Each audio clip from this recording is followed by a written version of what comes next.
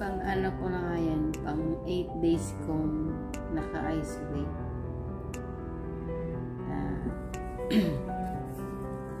Midutong Festival pala malapit na. Ito ang natanggap ko dito sa isolation. Salamat. Sal- Salamat sa ano sa ano dito sa Venice Bay. Ngayon na ako nakatanggap ng ganito. Ilang taon na ako dito sa Hong Kong.